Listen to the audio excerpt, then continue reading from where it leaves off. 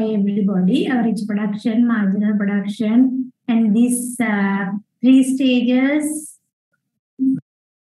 And with calculations, hope you can do these all. The law of production, the proper proportion, and uh, stage one, stage two, stage three, law of variable proportion we discussed, isochronous. Here, efficiency in production. Do you need this one? Hello? Yes, ma'am. Okay, so uh, great. Please listen carefully. Let's say uh, we have two inputs. Okay, so here you can see in x-axis input 2, uh, y-axis input 1. Let's say here labor and fertilizer, two inputs. Okay, just here you can see the production curve related to this red one. First, see the red one. Input one, input two, two inputs. These are the production curves that can produce things. Okay, let's say any, any production. Let's say rice production by using labor and urea, nitrogen fertilizer. Then just see other side curve, same input two and input one. Okay, so this side, because just see these two are separate. Okay, first here input one, input two. So again another uh, line uh, diagram is there. Input one, input two related to green one. Okay, then again the same side. But just think we keep this one, that green one above the red one, on the red one. Here one, again just see my cursor here another one. We take this green production curve here on this one. Then again input 2 comes here, input 1 comes here, the same direction. So there are many, many curves. Here, many, many red curves. Here, many, many green curves. So some points, for your easiness, I kept only two points where I touches two lines. But there are may, there may be many green lines towards this direction, many red lines towards this direction. Okay? Then some points will come where these two lines in two directions, two lines are there. When touches these two lines, these are the most efficient point because by using these two inputs, we can produce this, we can produce this in an efficient way, two products. Got it, Nilanka? Up to now? Yes, madam. Okay. Then production possibility curve or production possibility frontier combines these points and draw like this. Because here two products are there. Before that, you should remember three inputs are there. Okay? See, two inputs. But by using two inputs, we are producing output. Then these W, V, these points makes this production possibility curve or production possibility frontier. So inside this curve, let's say these, these, these, these points. These points are feasible because inputs are there to produce output. But see here, they are outside this curve, these points are not feasible because no inputs to produce A and B. Because the feasible and efficient points we collected and we produce this curve. Then no more inputs to produce product A or B outside the curve. But inside the curve, it can produce, but not efficient because these all inputs are not fully utilized to produce these two products. Now is it clear? How it become inefficient here, how it become unfeasible, even not feasible, because no inputs are there to produce these products, two products. Now clear, Lanka? Yes, madam. Okay. So you can see here also outside not visible, inside visible. These two another two goods. Okay. So here again production possibility. Okay. Now uh, shall we move to today's section? Because today's section also related to production possibilities. But first of all, we'll see some calculations related to interdependence and gains from trade. Okay. So this is also very important section. Please listen very carefully. If you have any questions, uh, you can ask, you can raise.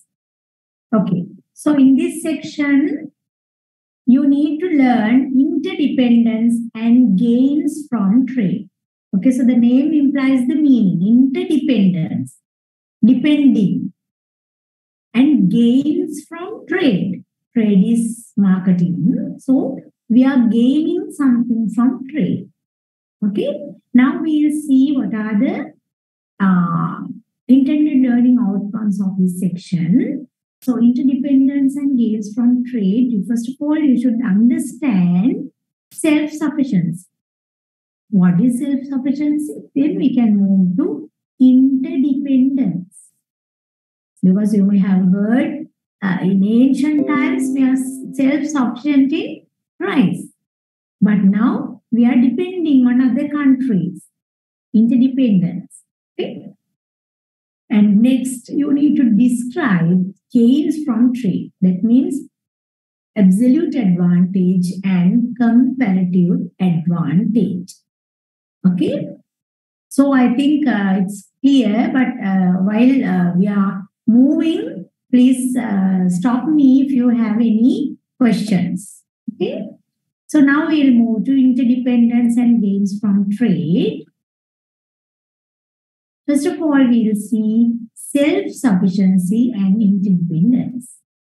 So normally, you know, we have different different wants. We are we have many needs. Okay, so I, I last time I explained the difference between needs and wants because needs we need we, we have to have for our survival, but wants maybe let's say I need. Uh, what glass of water because I mean I'm too thirsty now. So it's our basic need, water. But if I want an ice cream, it's not my basic need. Okay, so that's why anyway, a society or economy produce goods and services to satisfy consumers' wants and needs. Okay, so needs must be satisfied because if we can't fulfill needs, we will die. But if we can't fulfill our wants, we will not die. Okay? If I want an AC in this room, I will not die without having an AC. If I want an ice cream, I will not die without having an ice cream. But if I need a glass of water when I'm being very, very thirsty, I will die if I didn't get this water or food when I require. Okay? So I think uh, so here in self-sufficiency means sorry. Self-sufficiency means you need to understand our satisfy and needs, but for, for to satisfy our needs, we can do two things. Self-sufficiency, we can produce things by ourselves and we can consume. We don't want to depend on others. But interdependence means we have to depend on others because we can't produce everything by ourselves. Okay? So self-sufficiency and interdependence. So now you can see one alternative would be to produce everything that they need by themselves. That is self-sufficiency. Okay? Other alternative we have to depend on one another. Okay, so this leads to economic interdependence. The thing we are going to discuss today. Okay, so the, the question arises which is better and why? To be self sufficient or economic interdependence? Okay, now we'll see uh, the answer for that because self sufficient is good, but sometimes, you know, while producing the basic products, the cost may be higher than producing other countries, then it's cheaper to import if we are considering international trade. That is related to macroeconomics. But here we are discussing microeconomics. Now we will see the uh, self-sufficient and interdependent situation related to uh, individuals and the local economy. Okay, so here self-sufficiency, that picture implies many, many things. She grows and she harvested by herself. The people, the, the, the ladies producing things. So these are self-sufficiency. Okay, see, they are growing things to survive by themselves, not depending on others. So uh, self-sufficiency means able to maintain oneself or itself without outside aid. Okay, or in other words, we can say without buying from or being helped by others, we are producing our needs and wants by ourselves. Okay, now we'll move to interdependence and trade. Okay, for our easiness, we'll, we'll start uh, with general observation about the society we live. So in individuals, nations, they rely on specialized production and exchange as a way to address problems caused by scarcity because you all know we don't have resources abundantly. We discussed about the scarcity. Okay, so we don't have enough resources with us, but we have many wants, many needs. The problem of satisfying many needs or many wants by using limited resources.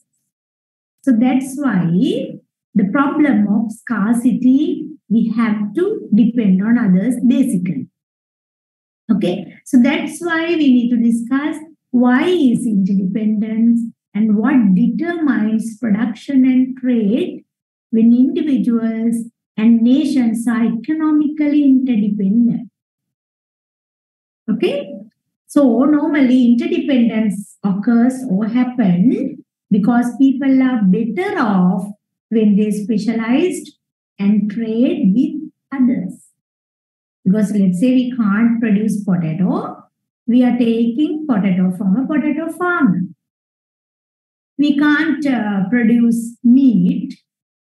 If we consider local condition only, we can go for meat seller and we can take meat. Okay, if we can't grow fruit juice, or let's say apple juice, we don't have, we don't grow apple. So we can go to a seller or producer, we can take that juice. Okay, so that's why we have to depend on others every time in a normal economy. Okay, so now we'll see what determines the patterns of production and trade. Okay, so here your familiar word comes now. So trade basically depends on opportunity cost. Do you remember what is opportunity cost simply? Anybody? Gaya? Gaya Mishan. Do you remember what is opportunity cost? Hmm? Simply, what is that? Gishani?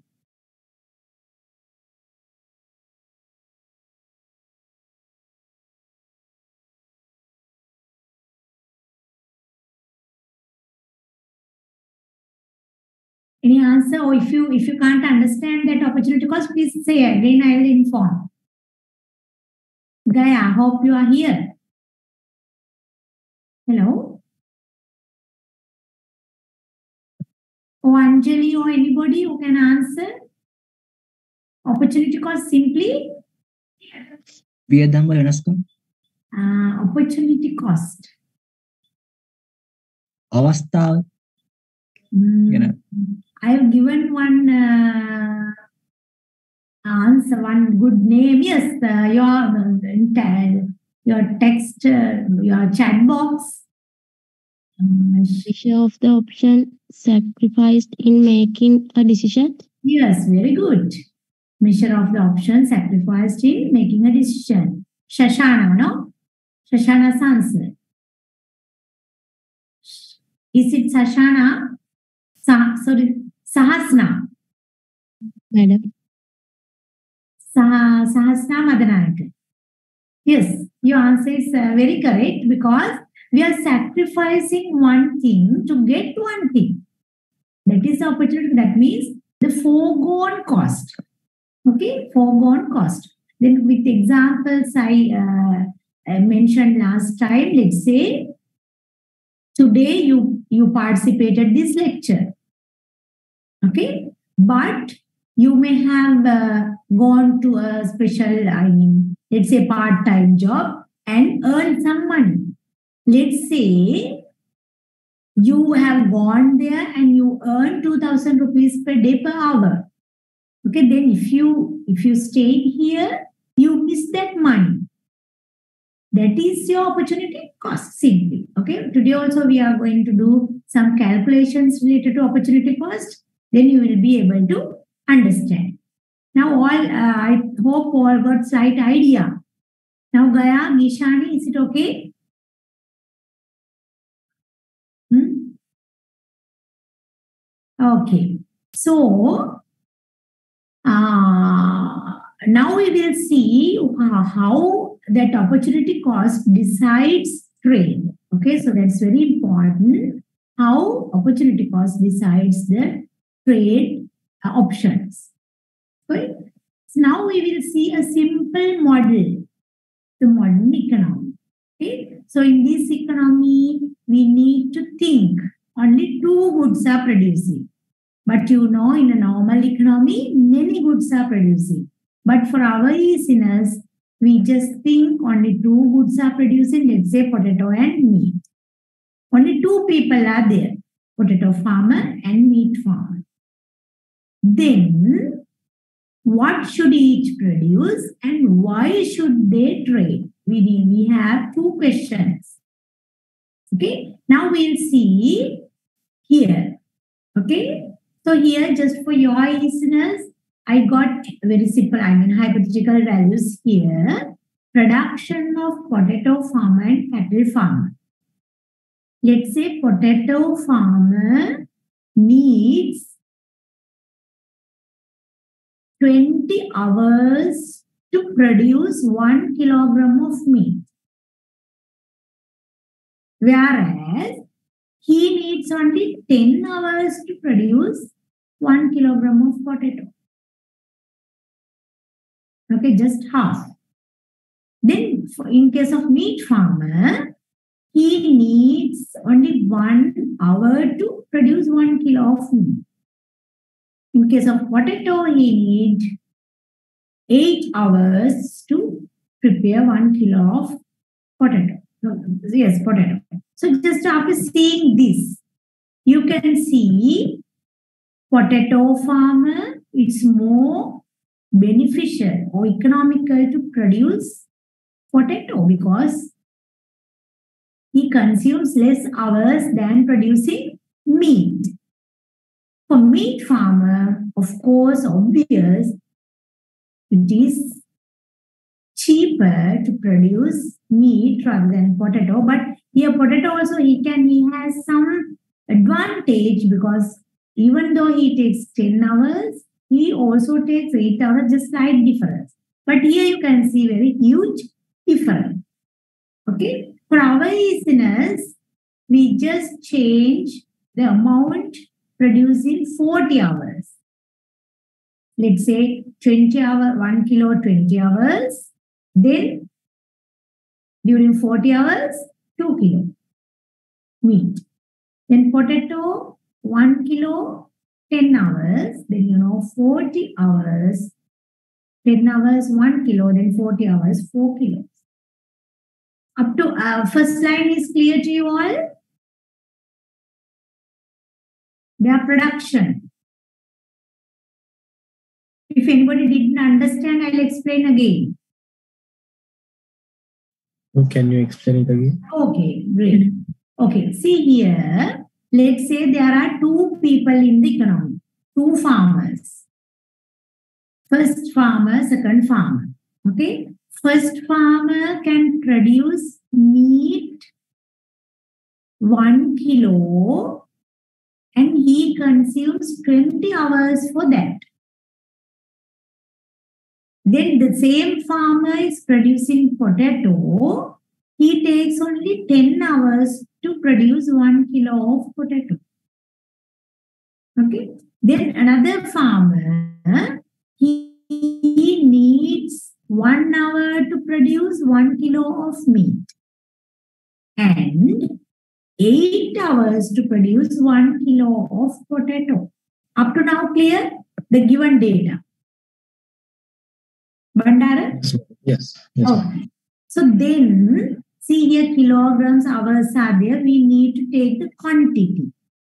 So we just, for our easiness, our calculation easiness, because we need to calculate the opportunity cost here, we got amount producing for maybe 20 hours, 30 or anything as you wish you can take. I took 40 hours just for making you more understand. Okay. Then if we consider 40 hours, let's say 20 hours, potato farmer takes to produce 1 kilo. Then within 20 hours, he produce 1 kilo. Then within 40 hours, obviously he can produce 2 kilo. Clear, Bandara? Yes, ma'am. Okay. Then see the same farmer, potato. 10 hours, he produce only 1 kilo. Then 40 hours, 10 hours, 1 kilo, 40 hours, 4 times, 4 kilo. Clear? Yes. Okay. Yes, ma'am. Then the same way, meat farmer. Meat farmer, think that side. During one hour, he produce only 1 kilo. Then 40 hour, 40 kilo. Simple mathematics.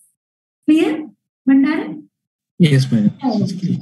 Then here, 8 hours, he takes to produce 1 kilo of potato. Then 40 means 40 divided by 8. That means 5 kilo. Understood? Yes, madam. Okay, hope everybody understood. Now we'll see the self-sufficiency. That means no exchange. That means potato farmer produce potato by himself. Meat farmer is producing meat by himself. Sorry, uh, potato farmer is producing potato and meat both. Meat farmer is producing also meat and um, potato both while ignoring or not considering each other. Therefore, no exchange or trade among them.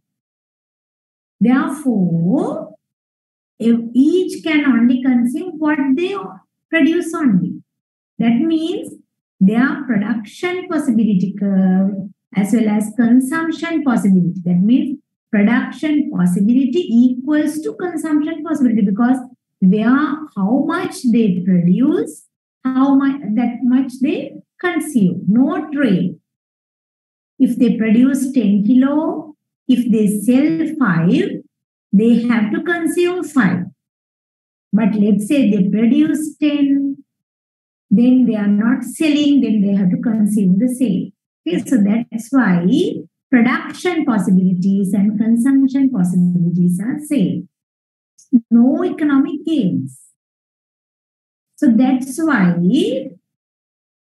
uh, we need to consider when economic gains when there is a trade, there is an economic gain. Now we will see the way. Okay. So here in previous one, you may remember when we meet physically, I'll teach this, I think, again because here are some calculations. Okay. So you can see here, potato farmer, if he is producing only potato, two kilo of, sorry, uh, if he pr- producing meat, two kilo of meat, potato, four. Okay. So here I draw the same for your understanding, two and four. Okay. So then if we take the midpoint just to see the efficiency, we can say one and two both. Okay. So any, anyway, he can see the production possibilities between two meat and four potatoes. His production possibility, consumption possibility is same. He can consume what he produce. Is it clear this production possibility? Hello?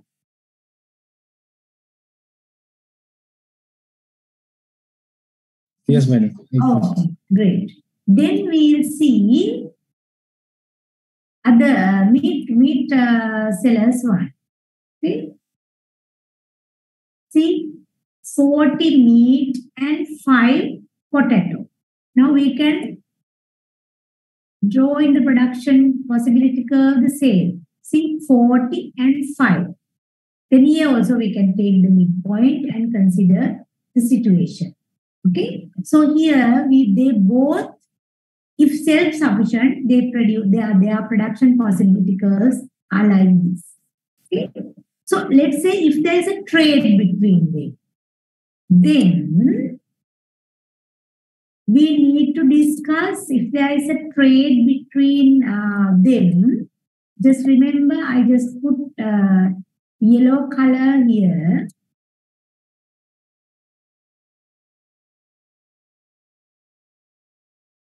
See, what is more economical for first farmer, potato farmer, to produce Potatoes. potatoes. Yes, we can produce 4 kilos potatoes if we take the unit time, 40 hours. But meat farmer, of course, it's, it's cheaper to produce meat. Okay, now we'll move. Uh, just to see what is trade. Now we know it's important to trade between these two parties because one is specialized for one thing, another is specialized for another thing by using the same cost, maybe same uh, input, same time. Okay, so then uh, we'll simply see what is trade. Trade involves the transfer of goods and services from one person to another, often in exchange for money. So we are transferring goods and services for money. Okay. Perhaps today uh, you have taken your dinner from outside. You are taking the good and you are giving money. Okay. Maybe you have seen your doctor or somebody, you are getting service and you are paying money. Okay. So exchange for money. So economists refer to a system or network that allows trade as a market. Because in a market where the exchanges are going on, receiving and giving money. Okay, so here you can see the flow of currency is also moving if we consider international trade. Okay, because export and import are occurring. We are, while importing, we are giving money. While exporting, we are receiving money. Okay, so these are the general points. Now again we'll move to potato farmer and meat farmer. Okay. Now each would be better off if they specialize in producing the product that they are more suited to produce. Then trade each other. Because for potato farmer, you have seen producing potato is better than producing meat. But for meat farmer, producing meat is better than producing potato. Then the meat farmer can use all resources to produce meat. Potato farmer can use all resources to produce potato. Then they both can exchange products. Okay. So therefore, potato farmer should produce potato, meat farmer should meat. The actual quantities, however, depend on relative price. Okay. So now this is based on comparative advantage. Now new, new, new name came to you.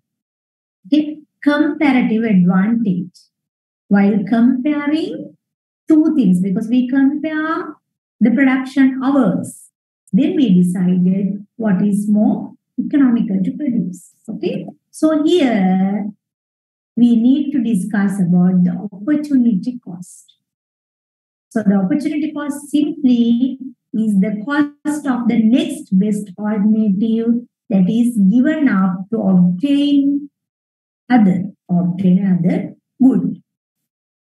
So here again the same example. Now we will see, we'll calculate the opportunity cost. Listen carefully very well. Okay. See here, opportunity cost of producing potato. See, potato farmer, opportunity cost of producing potato. You have to give up produce potato. Then to produce 4 kilo of potato, you need to give up 2 kilo of meat. That means 2 divided by 4. Got it?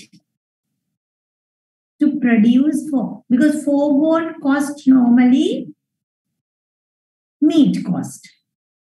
But we are producing 4 kilo of potato instead of 2 kilo of meat.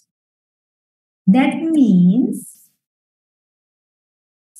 opportunity cost of producing potato means 4 kilo of potato, we give up 2 kilo of meat. So the opportunity cost is 0.5. Is it clear first, first line?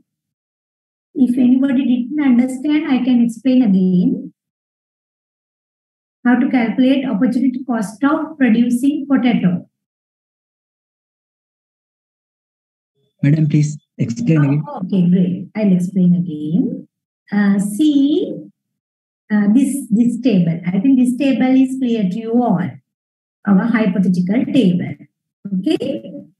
So from here, let's say that potato farmer specialized to produce potato, but he has to give up producing meat. That is foregone cost. That cost we need to calculate. We need to think if we need to produce 4 kilo, we need to give up 2 kilo of meat. Then if we produce 1 kilo of potato, how much we need to give up? Then if 4 kilo of potato, we need to give out, uh, we need to give up 2 kilo of meat. To produce 1 kilo of potato, how much we need to give up meat? Hmm? 2 divided by 4. Simple mathematics. Now clear? Yes, Yes. Will okay. Then, then calculate the uh, opportunity cost of meat farmer. How much? Then you need to take meat first. To produce 40 kilo of meat, you need to give up 5 kilo of potato. Then you need to decide to produce 1 kilo of meat, how much potato we need to give up. Hmm? It says in this slide. Clear? First we'll see potato farmer, opportunity cost of producing potato. The same thing we can calculate here, the opportunity cost of producing meat. Then to produce 2 kilo of meat, we need to give up how many kilos of potato? Very good, 4 kilo of potato. Then to produce 1 kilo of meat, how much we need to give up? How many kilos of potato? Okay.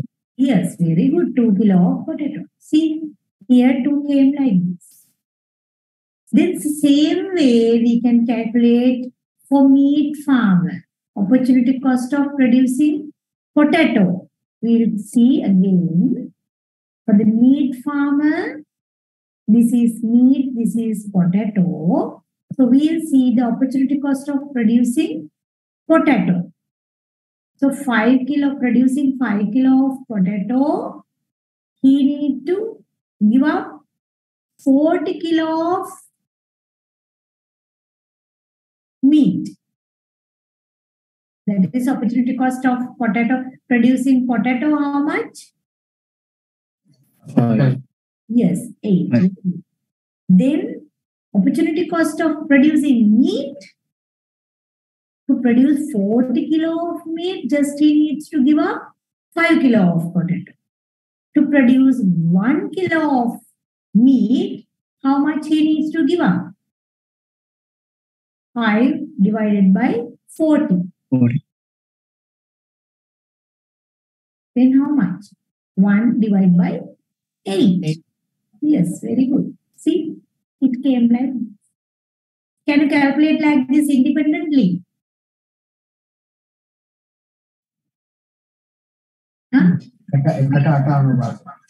Sorry?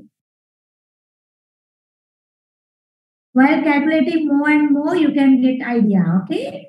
So now we will see again and again we are coming to some calculations. So first we'll see how trade expands consumption opportunities because you can uh, identify now meat farmers specializing to produce meat, potato farmers specializing to produce potato, then their consumption can increase because they have um, they, they have enough production at lower cost they can take from outside rather than producing by themselves. Okay? So that is why we are discussing about the gains from trade. The net benefits to economic agents from being allowed an increase in voluntary trading with each other nobody is forcing if they like both of them they can exchange their goods okay so not, that's why the trade comes between the people. Okay. So the, the, first one, the net economic benefits that a person or nation gains from engaging in trade with another. If a nation is self-sufficient, when it has to produce everything it needs itself, which can be difficult because it either needs to allocate resources to every good and service. Previous example, if potato farmer needs to produce both, he needs to put resources to produce meat as well as he needs to produce resources to produce potato rather than specializing into one product. Okay? And limited diversity even. But with trade, they have very, very, uh, I mean, opportunity to get diverse production, diverse goods and services. Those who can produce, those who have resources, they can produce and they can sell to others. Okay, so that's why trade occurs when people or countries exchange goods and services with each other. Both parties are better off gains from trade are the benefits an individual or country experiences when they engage in trade with others. Okay, so normally uh, before going to many calculations of this opportunity cost, we'll discuss briefly what are the main two types of gains from trade. Two types are there, dynamic and static. So after seeing the name, you can understand some, you can get some idea. Hmm? Dynamic means dynamic, continuously changing, dynamic. But static means static, just the status, the, the, the same one point. If we move one point to another point, it's dynamic. But static means just a, a one point or uh, one state. Okay, so that's why in the dynamic gains, you can static gains, you can say social welfare we consider. Okay, so production possibility frontier you discussed. So these all we can gain from static gains in a, in a separate, uh, uh, specific place, static. Okay, but dynamic gains means the nation's economy, whole economy we need to consider. So then na- nation's income, production capabilities. So they are changing every time through specialization. That's why it is dynamic gains. Okay. So here you can see when they do trade, they have the comparative advantage, which consider mainly the opportunity cost. So a country or maybe a producer. Okay, so in your your level, we can consider micro level of individual person, individual firm, or producer has a lower opportunity cost, is more efficient or better at producing the good than the other. Okay, if foregone cost is very low, then we should specialize for that one. Okay, so that's why a country or producer has an absolute advantage if it can produce more of good than another country or producer using the same level of resources. Let's say we have only two laborers to produce meat and potato, but rather than taking dividing these resources into two products, we can specialize the product which has more economic gains. Okay, if that foregone is very low, if something we foregone, the opportunity cost is very low, we can just forget it. We can foregone. We can uh, forget it. Okay, so the comparative advantage and absolute advantage without sharing, they have their own advantage. Okay. So now, uh, in case of this um, production uh, possibilities, we need to measure the cost of production as well. But normally, the cost components here we are not discussing in detail because normally the difference between costs decide who should produce because producers should produce at lower cost okay and they should decide how much should be traded based on cost component. Okay? So there are normally we consider two ways of measuring differences in cost of production. Number of hours required to produce a unit of output. Our example we discuss one kilo of potato one kilo of meat likewise. Or the opportunity cost sacrificing one good for another. So that's why today we are discussing basically this concept, opportunity cost concept, because we are considered gains from trade today. Okay, so first of all, we'll see because comparative and absolute advantage, two advantages we can take. So absolute advantage means if any producer can produce the product by using smaller quantity of inputs. It is absolute advantage. Then you can say potato farmer can produce more potatoes, while wheat farmer produce more meat. That is absolute advantage. Okay. So here the same example. Now we'll move with this example, the comparative advantage. Okay. So comparatively, that farmer, the, the, meat farmer, uh, the, the, let's say potato farmer gives up 0.5 kilo of meat. See previous one, I think you remember.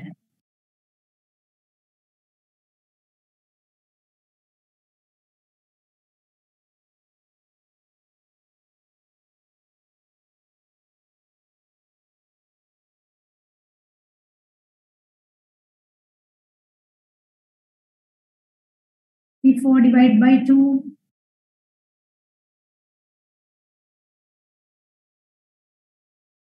I think previous one.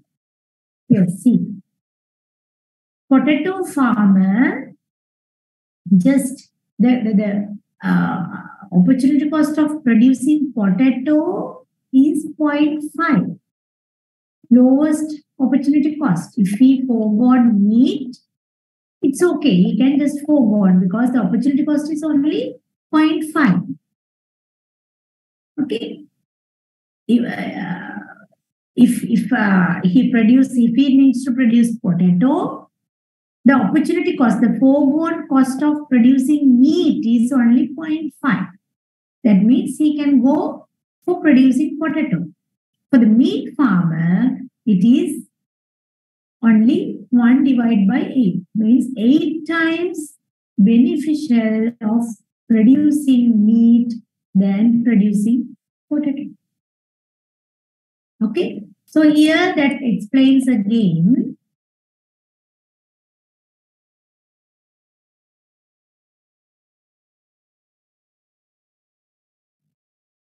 See, potato farmer gives up 0.5 kilo of meat to produce 1 kilo of potato. Understood this, this line? Hmm?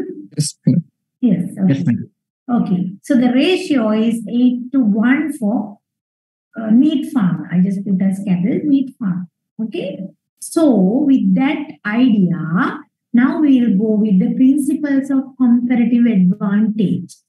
So the main principle, comparative advantage and differences in opportunity cost are the basis for specialized production and trade. Whether it's national, whether it's international trade, we need to consider the differences in opportunity cost. Okay, so maybe individuals, regions, nations specialize because they have comparative advantage, not absolute advantage. Okay, absolute advantage, they have to produce many things, but comparative advantage based on the opportunity cost, they should prepare for trade to take maximum economic benefit. Okay, so other benefits also there. More products and services they can experience and they can get more knowledge about the uh, production process. And they can produce more and more same amount of effort, about more and more output by using the same amount of effort, maybe same amount of cost, maybe same, same amount of time. Okay. Higher productivity and benefits everyone in the society. We can take higher benefits and higher productivity. And talents are not wasted because potato farmer is specialized in producing potato. Meat farmer is specialized in producing meat. So there are talents they can use in a maximum way to produce these things. Okay. So another example. Let's say producer A can produce oil 10 barrels of oil or 5 liters of whiskey. Hmm? let's say producer B can produce 20 barrels of oil or 40 liters of whiskey. Okay, so now we need to decide what is more economical because A can't produce both by using same resources rather than specializing. Just after seeing, we can observe, we can produce for producing oil. We'll see after doing calculation. But here we can see producer B should produce for producing the whiskey specialized. Okay. Now, one unit of labor in each producer can produce either oil or whiskey. You say one unit of labor. Okay. So a unit labor with producer A can produce either 10 barrels of oil or 5 liters of whiskey. So out of these two, they can produce only one thing. We need to decide what is it. Let's say a unit labor with producer B can produce either 20 barrels of oil or 40 liters of whiskey. Okay. Now we'll see, while calculate opportunity cost for two producers in producing two products. Okay. See. A, B, two producers, OCI mentioned as opportunity cost. If specializes only for oil, you have to take oil, then whiskey, producer A, opportunity cost of producing oil is 0.5. Opportunity cost of producing whiskey is 2. Clear? Because 5 bottles of whiskey, 10 barrels of oil. To take one um, uh, bottle of oil, he need to uh, devote or sacrifice only 0.5 of whiskey. So he is cheaper. He, for while you consider the opportunity cost, it's cheaper to produce oil for him. Now clear this calculation? Yes, ma'am. Oh, okay. Yes. Okay, please practice by yourself. Then, uh, sorry, here also again. Just uh, instead of keeping countries in international trade, I put as producers. Okay, the same producer A and producer B. Let's say producer B can produce oil 20 bottles or 20 barrels. I kept as barrels as I remember. Yes, barrels. Yes, barrels and whiskey liters. So producer B can produce 20 barrels of oil or 40 liters of whiskey. So if let's say he B is specialized to produce only oil, then 20 lit 20 barrels of oil gives 40 liters of whiskey. Then just to produce one liter of oil, he needs to sacrifice two liters of whiskey. Now clear?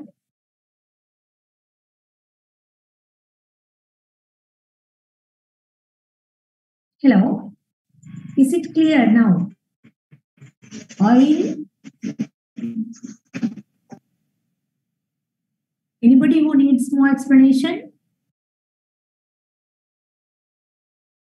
Bandara, clear? Chandima? Hello? Hope you all can hear me. Yes, we can hear Yes, you. Sorry, Yes, need more explanation? Yeah. Okay. Okay, the same way, let's say two producers are there, A and B. Previous one is clear, I think. Yeah, it's clear. Okay, so the same way, let's say producer B needs to specialize for oil. Okay, then consider these two lines. So if he produce 20 barrels of oil, he need to give up 40 liters of whiskey. Then to produce one uh, barrel of oil, he need to sacrifice how much? Two liters whiskey. Yeah. Then if he specialized for whiskey, 40 liters of whiskey, he need to sacrifice only 20 liters or 20 barrels of oil. Then for one, he need to give up only 0.5. Now clear? It's Yes, madam. Okay, great. So, sorry.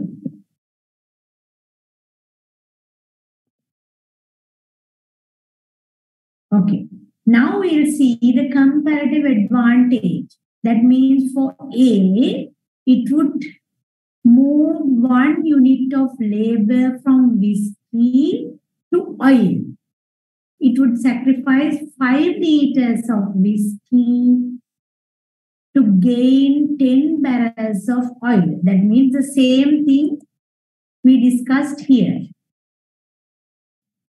10, 5, previous one. That's why it came as 2. Here it came as 0.5. Okay. So, here also again, moving one unit of labor from oil to whiskey produ- production would lead a sacrifice of 10 barrels of oil to gain 5 liters of whiskey. Okay, that means the second one, 2.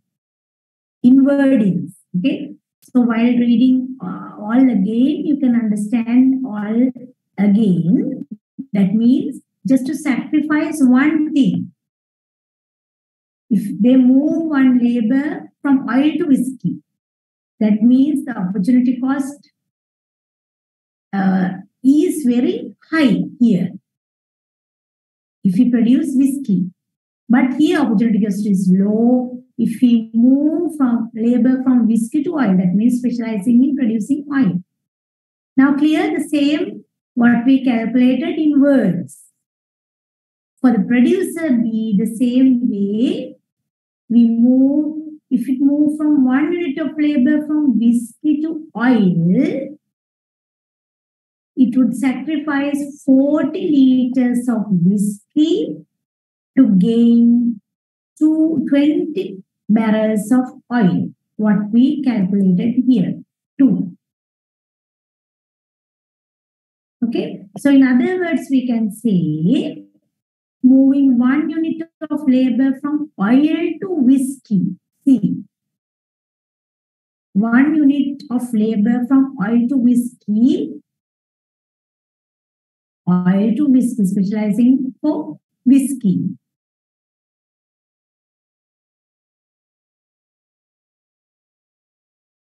Would be lead to a sacrifice of 20 barrels of oil to gain 40 liters of whiskey. That means the uh, opportunity cost is only half 0.5. Okay, so that's why for producer D, the opportunity cost for oil is 4. That means more cost.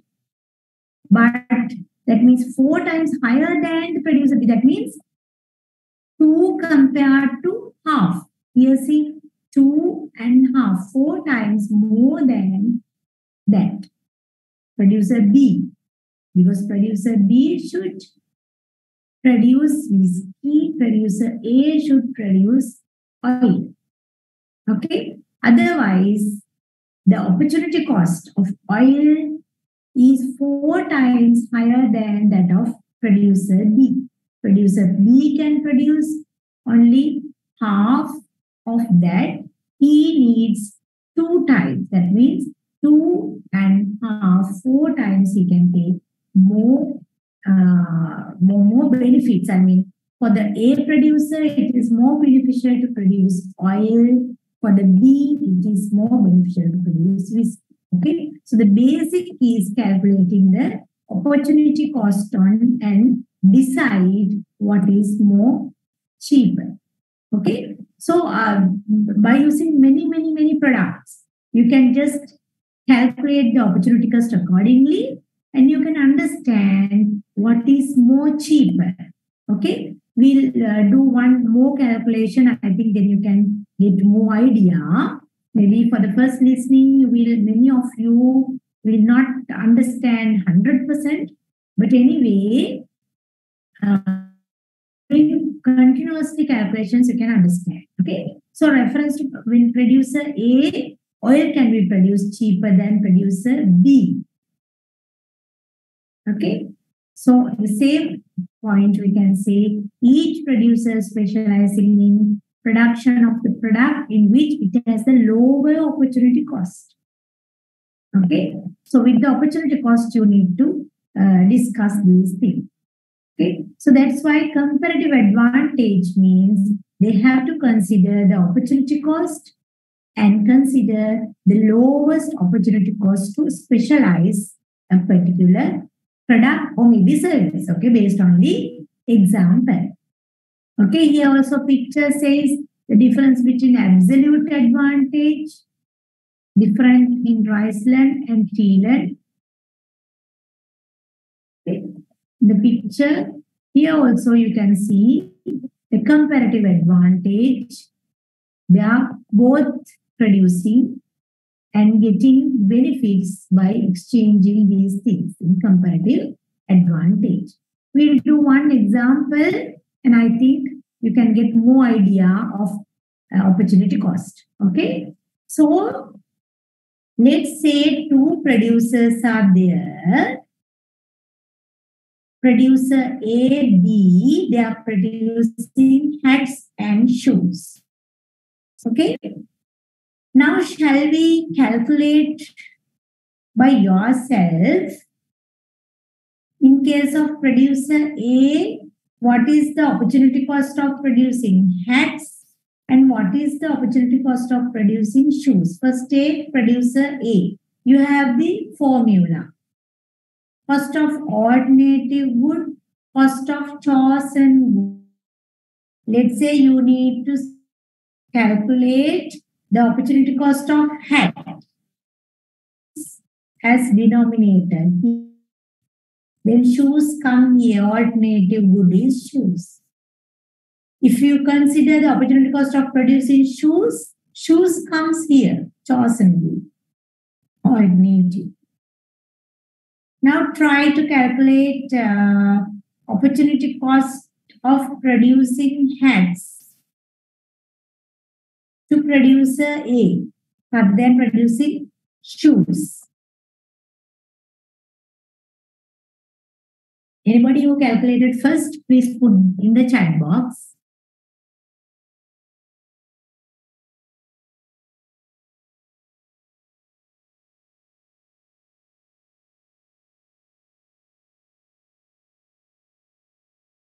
Now time is enough. Hmm? I didn't see anybody's answer. Uh, for the producer A, opportunity cost of producing. Uh, Mandar gave the answer. Producer A, opportunity cost of producing hats.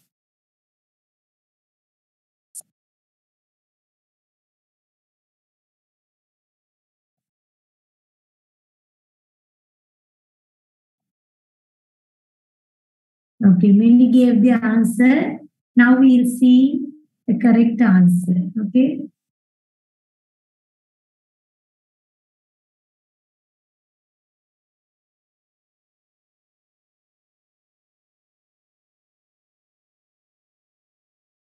Opportunity cost of producing hat. Huh? I told opportunity cost of producing hat. I think only one gave the correct answer. Huh?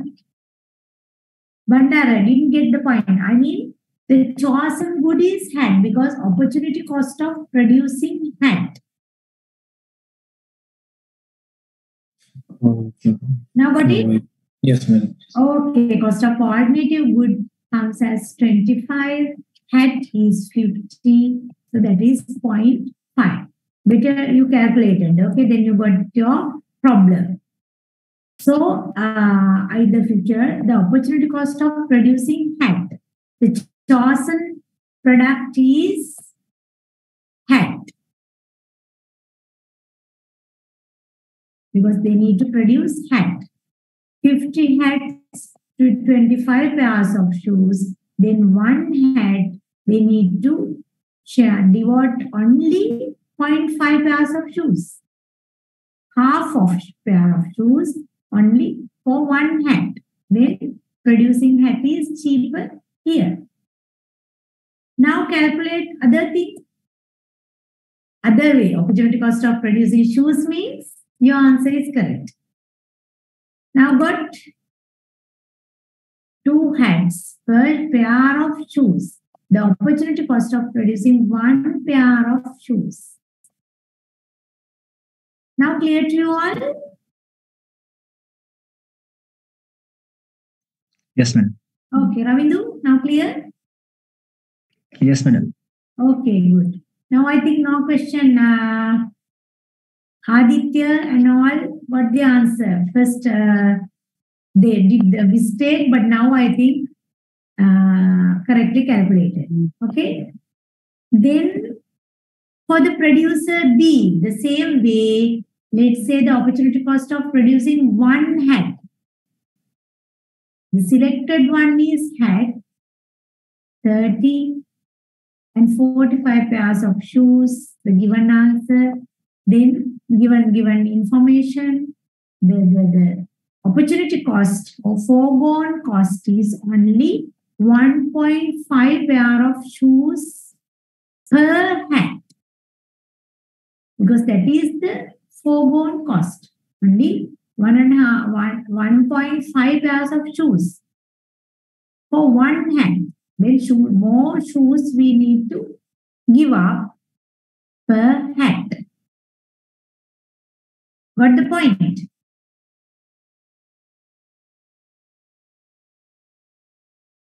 So one pair of shoes, the opportunity cost is 0.65. Okay, hmm. chosen good, alternative good. Then you can calculate, you can prepare a summary table like this. Opportunity cost of producing hats and shoes in each producer. A, we calculate opportunity cost as 5. You just interchange this one. I think you remember this very well. Okay. Then opportunity cost of producing hats and shoes. So A has a lower opportunity cost of producing hats. B has lower opportunity cost of producing shoes. Okay, any example you can take. Use hypothetical values and practice, practice, practice. Then I think you will never forget. Then in other words, we can say every hat produced, producer A gives up 0.5 pairs of shoes. Understood? Because every hat produced, because the opportunity cost means foregone cost. Foregone from where? From the shoes. Okay. So every one hat produced, it foregone only 0.5 pair of shoes. Okay. Here also you can calculate the same. See here.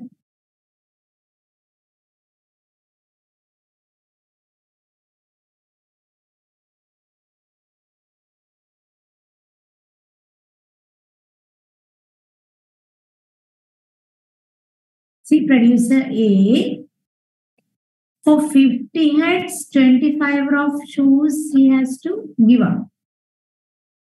Then for one head, he need to give up only 0.5 pair of shoes. Okay, but if you come to produce, uh, sorry, if it comes to shoes, for 25 pair of shoes, he need to give up 50 head. Then one pair of shoes, he need to give up two heads. It is not economically beneficial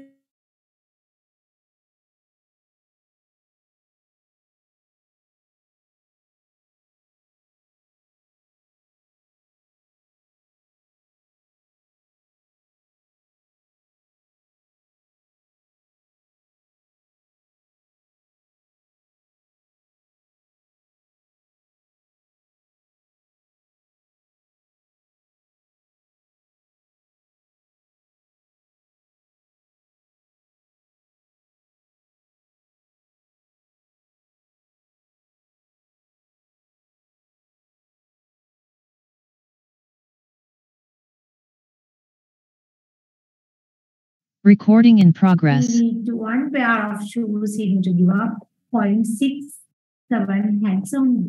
Okay, so that's why finally B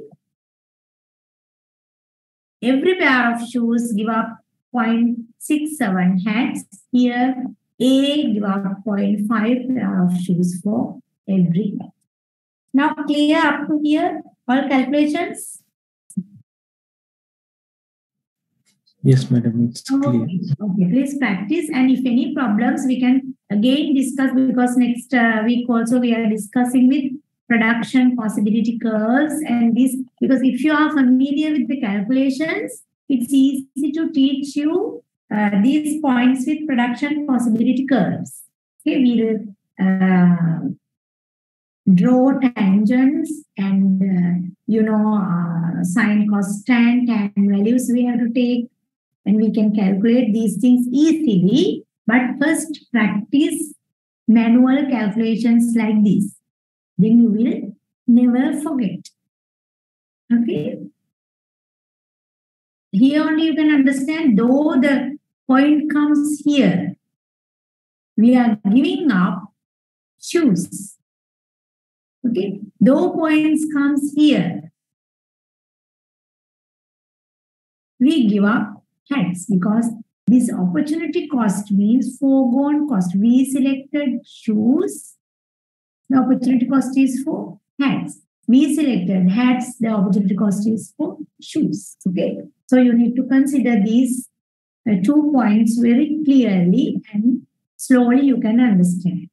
Now we will see A must sell the hats, but th- that is also more important while trading hats, let's say A should specialize for trading hats because the opportunity cost is very low.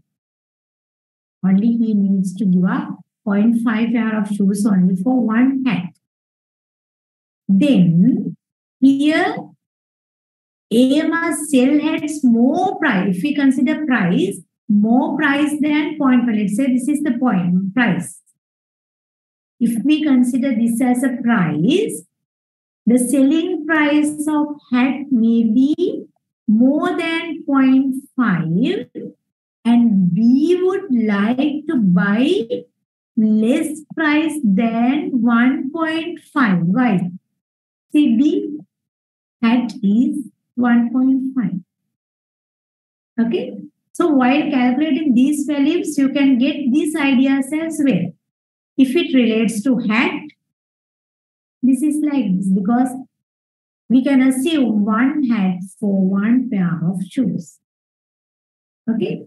In other way, when trading shoes, because we should specialize for shoes, the, the, the opportunity cost is low. But he should consider when he is specializing to produce shoes, every time the shoes, the price should be more than 0.62. A must buy lower than 2. See, when you specialize shoes, it goes in that way. When it considers hats, it should go in that way. Now clear?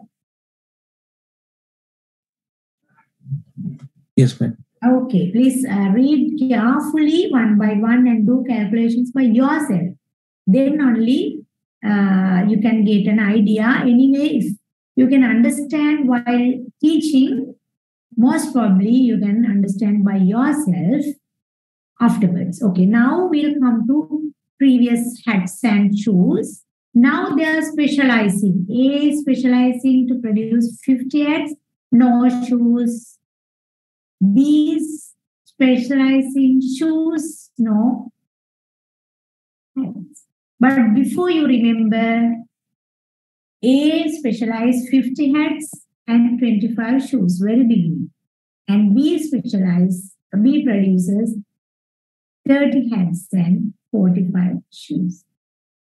Okay, now we'll see gains on, from trade for your understanding with hypothetical values. Okay, that means see clearly the table.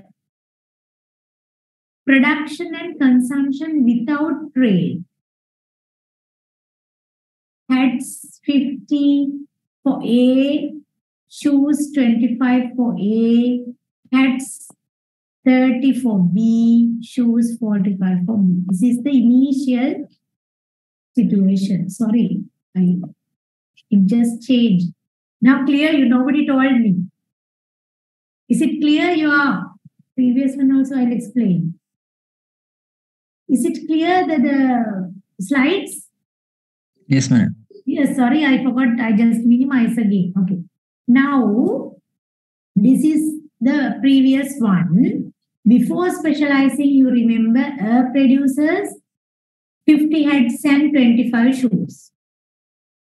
B produces 30 heads and 45 shoes. But after specialization, uh, let us assume A produces total 50 hats, only no shoes, because he can take shoes from B at lower cost. From B, he can produce shoes only. He will not produce hats because he can take hats from A. With that, we will move to this table. Production and consumption without trade. C. A produce hats, shoes. B produce hats, shoes this much. Okay, without having any trade before they use the same. But see, the uh, we are assuming if production is like this, uh, A can produce 60 hats, shoes 30 hats, again 30, shoes 55.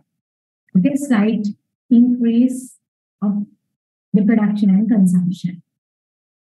Then if let's say there are doing a trade. They are giving because hats, A give hats and get shoes.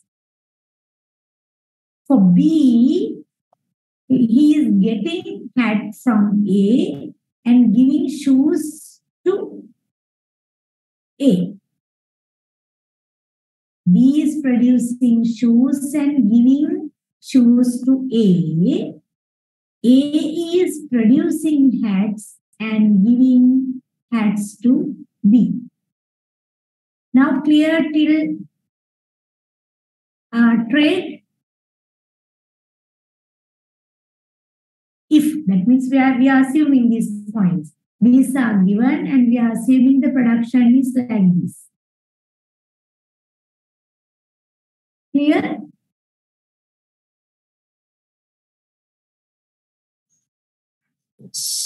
It's. I'll explain again. Okay. So that means let's say A and B, two producers are there in our previous example. We got the last one. Okay.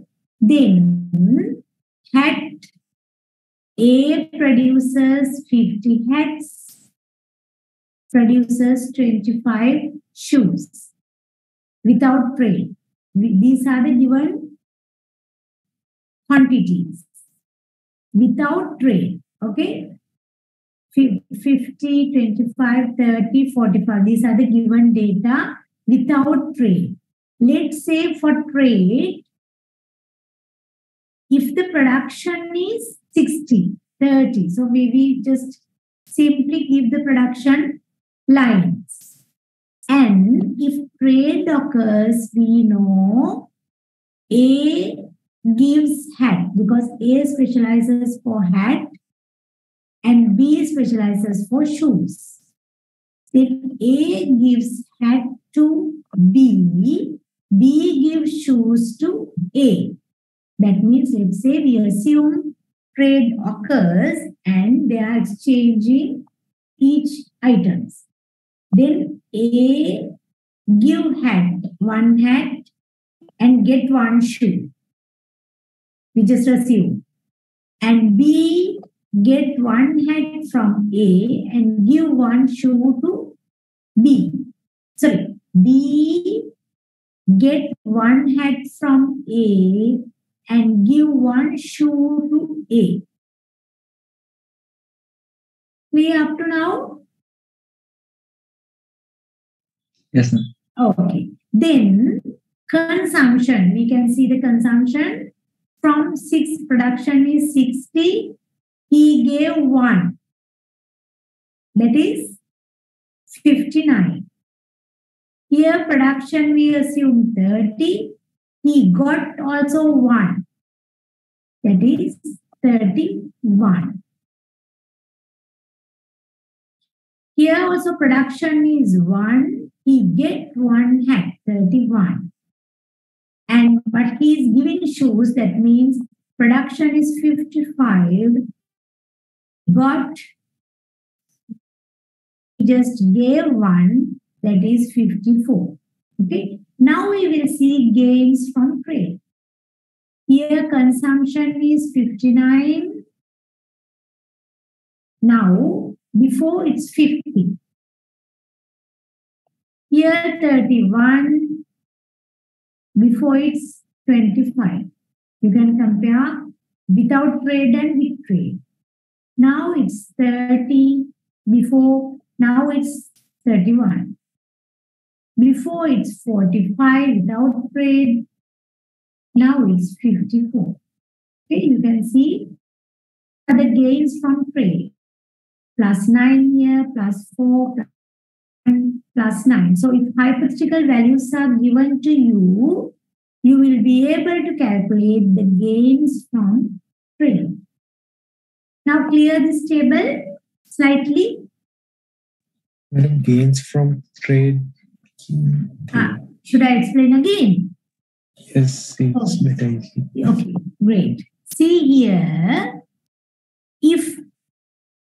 you produce 60 and you give one, you remain, the, the, the heads remain for your consumption is 59. But before, without trade, your consumption is 50. Okay, then, Conduct email, madam. sorry. Uh, Before trade, shouldn't it be 60, minutes? No, no, no. Before Because we got it because as if the production was 60, then Yeah, we one. we, we consider this if trade, if they are doing trade, the production is like this. But here, before trade, see, without trade. So that is 50. Production and consumption without trade. The previous one we, uh, see, I'll show you again. See here.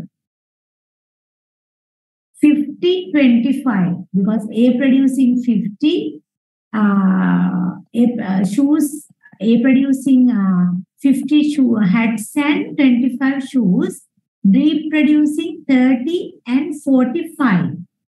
But here we consider, which these are hypothetical values, just we assume while doing trade, we are, they are not specializing fully. For trade, but they are producing both 60 hats, 30 shoes, 30 uh, hats, and uh, 55 shoes. If so, they are specializing in trade A for hats and B for shoes. Okay, so in that case, they are consuming before because before trade they consume only 50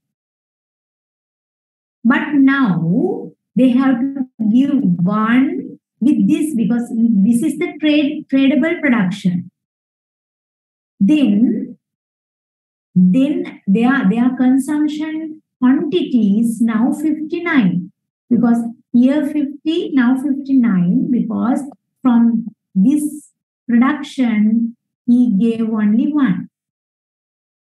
Now clear?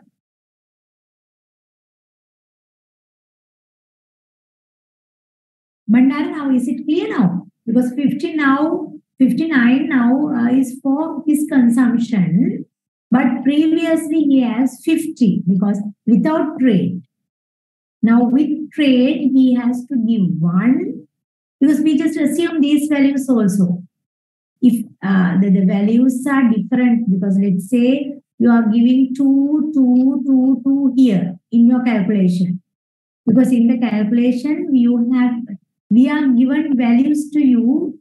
Just uh, assume your production is 70 or your production is 40 uh, shoes production is 50 so likewise we are assuming and we are giving trade values as well. Let's say you want to give two hats to B, three hats to B, and B needs to give two shoes to A.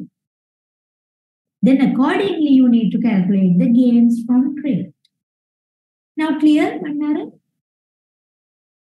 Okay.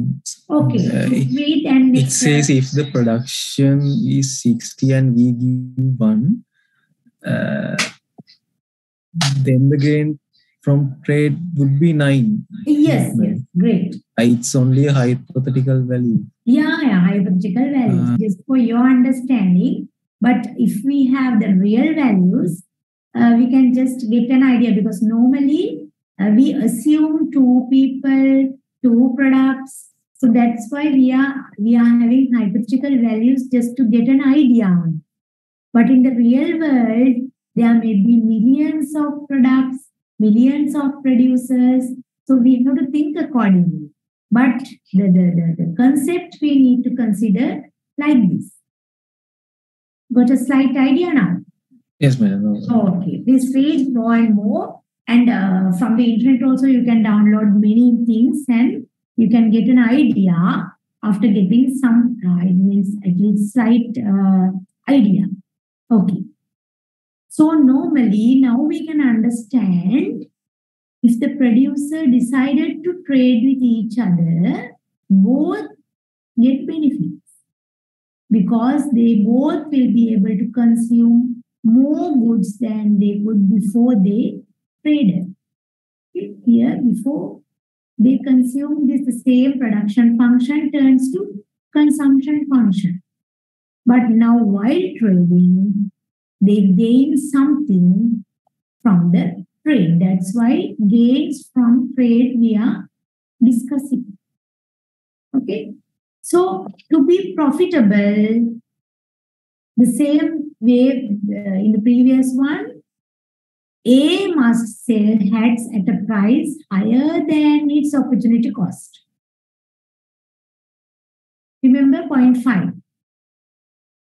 B will only buy them the price lower than its opportunity cost. That means 1.5 for a pair of shoes.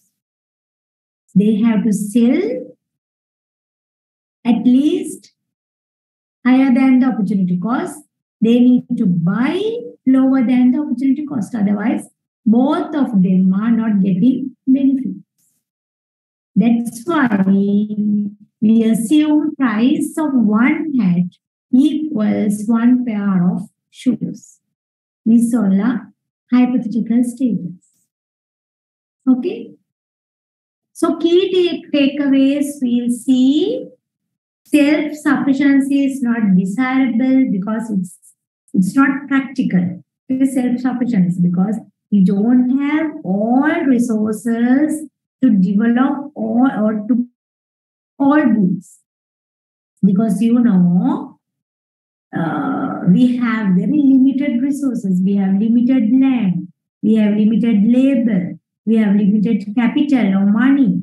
We have limited entrepreneurial skills. So it's very difficult to produce all goods by all people based on the opportunity cost they need to produce. That's why specialization leads to higher productivity for the producers of goods and services. So interdependence and trade allow people to enjoy a greater quantity and variety of goods and services because many countries, if we consider the international trade, many producers, if we consider the national or local trade, have special capabilities to produce different different products. Therefore, we, we, we need to allow them to produce what is most profitable to them based on available resources. The person who can produce a good with a smaller quantity of inputs needs absolute advantage, what we discussed very beginning. Smaller quantity of inputs, but smaller opportunity cost. If we consider it is comparative advantage, you can consider the difference between absolute advantage and comparative advantage. Absolute means one person can produce a good with a smaller quantity of inputs. Let's say he has to produce hats and uh, shoes both. With smaller quantity of inputs, he can produce hats. Then he has the absolute advantage of producing hats. But if we consider comparative advantage, you need to compare two people. Not only one people in absolute advantage, one person. We need to consider two people and we need to consider the opportunity cost. When opportunity, opportunity cost is lower, he should go to produce them. The foregone cost is low. If foregone cost is higher, he should not go for that one because he is losing more than he is getting. Okay, so that's why the gains from trade are based on comparative advantage or the opportunity cost. Okay, not the absolute advantage. Absolute advantage we can see if, if one producer is producing two things, if one thing can produce by using minimum inputs, that is absolute advantage. But the comparative, we need to compare two producers or two countries just to see which is more profitable by using the lowest opportunity cost. Okay. So uh, these are the main things I need to discuss today. Mm, Are there any problems? Because uh, today I think uh, you are just uh, learned uh, the new section with new components. But next day also we discussed about production possibilities and gains from trade. Then again we are discussing these gains from trade. So meanwhile, please remember just uh, the comparative advantage how we took by using this uh, uh, opportunity cost principle and how to calculate this uh, opportunity cost and all. I think then you can, with the practice, you can come uh, next time. Then we discuss two main types of gains from trade. Then uh, we discussed about this uh, uh, mainly the measuring cost of production. But here we focused on opportunity cost. Okay, so the absolute advantage producing one thing and the uh, comparative advantage for both cases. Okay, so the principle of comparative advantage is the opportunity cost. So that's why we discussed opportunity cost in many cases and we decide how they are getting gains from trade finally. Okay, so when you uh, consider with the, uh, the gains from trade with production possibility curves, I think you can get a clear idea of these gains from trade. Okay. So any any other questions from today's lecture?